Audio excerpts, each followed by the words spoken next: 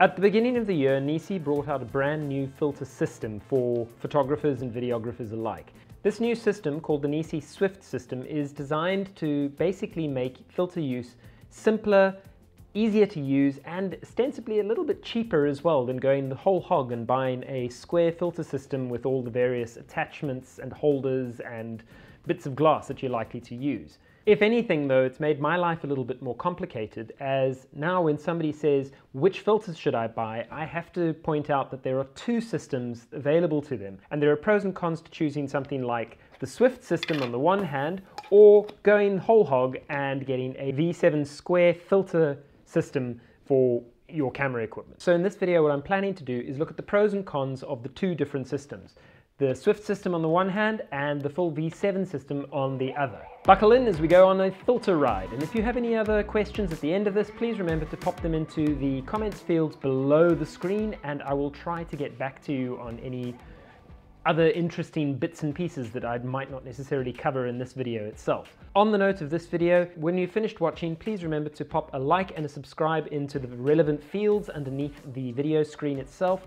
Uh, your support ensures that I can continue making videos just like this, as well as videos along Capture One, photo essays, reviews of various bits of equipment, etc, etc. Cool! Without further ado, let's dive into the pros and the cons of the Swift versus the V7. The first criteria we're going to look at is that of simplicity or complexity.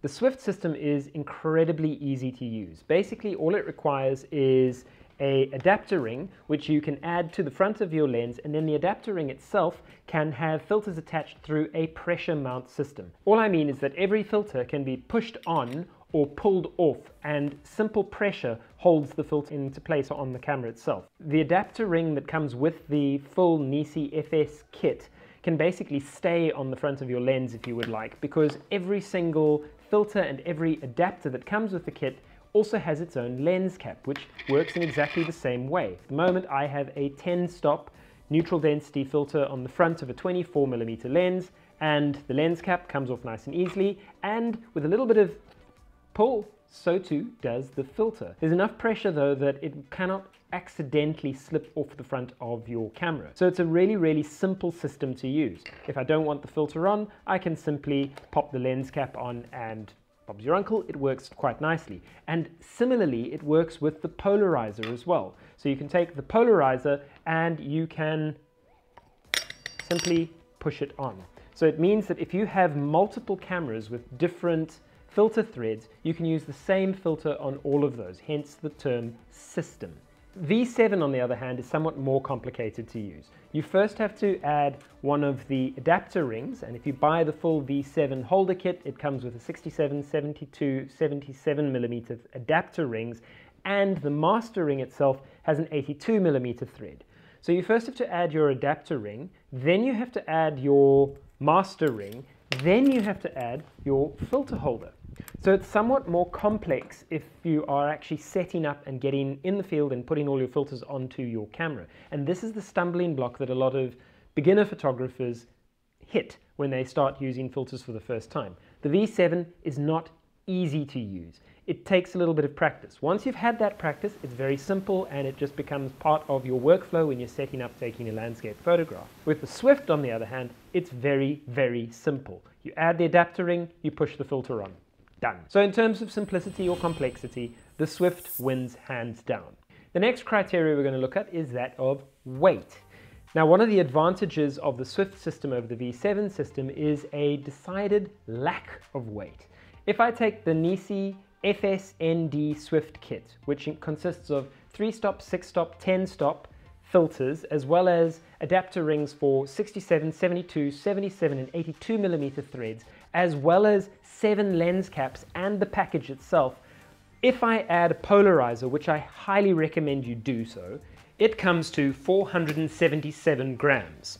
The V7, on the other hand, with the same setup, so in other words, adapter rings for 67, 72, 77 millimeters, and then the master ring, a polarizer and the three neutral density filters, 3, 6 and 10 stop, this comes to 481 grams. So not all that much heavier. However, there's a rub to this. If I were to take these little caps away from the FSND kit and only have one cap for the camera that I'm using, it now comes down to 382 grams, which is 100 grams less weight to carry in comparison to carrying something like the V7 kit with the same filters and a bag, obviously. In terms of weight, again, the Swift system wins over that of the V7.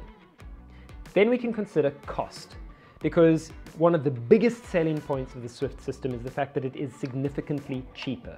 In South Africa, if you look at the 82mm Swift FSND kit, which consists of 3-stop, 6-stop, 10-stop filters, 4 adapters, and the bag itself, it comes to around 6,000 Rand. In the US, I believe it's around $250 for that same kit.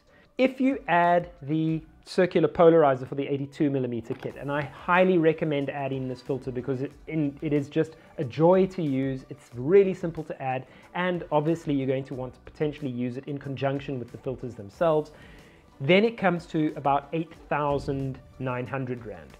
Still worth it in my opinion but 8,900 Rand in South Africa, and in the US it's around uh, $360 or so. I speak under correction over there, but at least in South Africa you're going to pay around 8,900 for the polarizer and the filters themselves. Okay, so that sounds like it's quite a lot of money, but when you compare that to the V7 system, the V7 holder, polarizer, and the three filters along with the bag and the kit and whatever you want to have with that is going to set you back over 12,400 Rand. So there is a significant difference between the two. There's almost 4,000 rands difference between the Swift system and the V7 system, the square filters. So from price, it also looks like the Swift is in the lead and has a serious pro to it in that it is significantly cheaper. But this of course doesn't mean that the Swift system is the outright winner in this regard because there are several advantages to using the more complex, slightly heavier and more expensive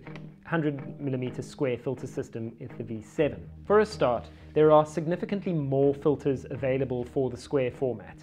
Yes, I'm sure that there will be additional filters coming out soon with the Swift system. So for instance, you can hopefully get a natural night filter or a soft uh, star soft filter in future. But at the moment, if you want the full array of filters that are available, including things like the star soft filter or the natural night filter or any of the other myriad number of filters that are available for the square format system, they are available. You can buy them right now and use them on your square format um, adapter. The other huge advantage of going with a standard 100 millimeter square filter adapter is that other manufacturer filters are also acceptable in the format. So you can use Lee filters, you can use Tiffen filters, you can use Stingray filters, you can use Cokin, and of course you can use Firecrest and so on and so forth. So the 100 square millimeter system is compatible, it's cross-compatible with a range of other manufacturers, which is a huge advantage. Then there is the big, big, big elephant in the room, and that happens to be the graduated neutral density filter. There is currently no graduated neutral density filter for the Swift system, and I doubt that there ever will be one.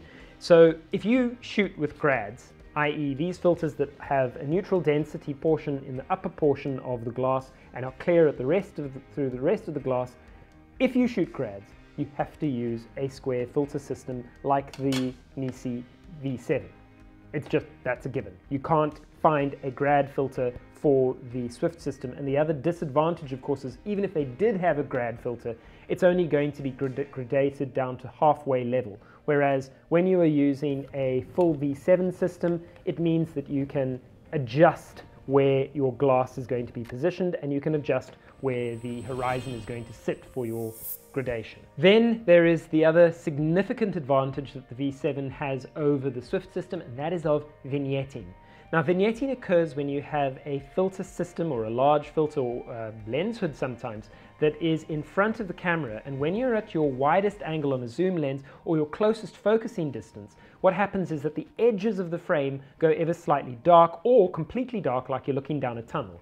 That's called vignetting. The Swift system has been designed that when you're using an individual filter, there is no vignetting. So if I'm using my 10 stop or a polarizer or a 3 stop or whatever I put on, on my camera, it's not going to vignette, even when you're using a 16 millimeter lens or a 16 millimeter focal length on a 16 to 35 millimeter lens which is pretty much the widest you're going to get when we start talking about filtering our lenses. Unfortunately, as soon as you add another filter to that, at 16 millimeters, you're going to vignette. If you add additional filters, so in other words, let's say I want to create a super stop effect and I put a 10 stop and a 6 stop and I still want to use a polarizer, that's three filters. I'm going to get vignetting no matter what I do, whether I'm focused up close or on infinity, there is going to be dark edges to the extremities of my frame. This is not the case if you're shooting with the V7. The V7 has been designed around keeping your 16 millimeter on a 16 to 35 vignette free. So I can stack up to three filters and a polarizer. So that's four filters. And at 16 millimeters, I still don't get any vignetting when I am focused middle to infinity distance. If I'm focused at my closest focusing distance, yes, there is vignetting. But again, you can remove the front rail of your filter holder, in which case, even at the closest focus setting, you will not get any vignetting, which means that I can take that rail away and add two filters and a polarizer and still not get any vignetting when I'm shooting. So if you're going to be shooting with ultra wide lenses and you want to be able to use multiple filters, so call it a neutral density filter and a polarizer, then the only way you're going to avoid vignetting is by using the V7 system, the square filter system. If you're shooting on anything slightly more telecentric, so call it a 20 millimeter upwards or probably 24 millimeter on a full frame camera, then the Swift system is going to work even when you stack the filters. But if you're going to shoot with a ultra wide lens, like a 16 millimeter lens, and you want to avoid vignetting and still use filters, then you're going to have to go with the V7. So unfortunately, that actually means that the two filter systems are in something of a tie. When it comes to cost, simplicity and weight, the Swift system absolutely wins hands down. However, if you're using grad filters, specialist filters like the Nisi Night filter or additional other types of filters like that, or are using an ultra wide angle lens like a 16 millimeter, then the V7 wins, which makes your choice rather more complicated because in a way there's place in your camera bag for both filter systems. So here's my advice basically. If you are not worried about shooting blend exposures, so in other words a photograph for your highlights and a photograph for your shadow and combining them using raw editors or Photoshop, then get the Swift system. This is particularly the case if you're not using a ultra wide angle lens. On the other hand, if you are shooting using an ultra wide angle lens like a 16 millimeter and you want to get everything right in a single frame, so in other words, necessitating the use of a grad filter occasionally, then plump for the extra money and get the V7. My personal use, use scenario is that I will probably stick with the V7, although I really, really like the polarizer from the Nisi Swift system. And at the very least, what you can always do is buy the polarizer and the correct individual adapter rings, and then you can get a polarizer that will fit all of your lenses, which is really simple to use in comparison to using the polarizer on the V7 system and is really robust because it has that nice metal frame around it. And with the adapters, it means you can add it to as many lenses as you would like by only buying one filter. So from that alone, I mean, the Swift, the Swift system CPL is fantastic. Quite likely this video hasn't actually helped you make a decision over the two filter systems because they're both great.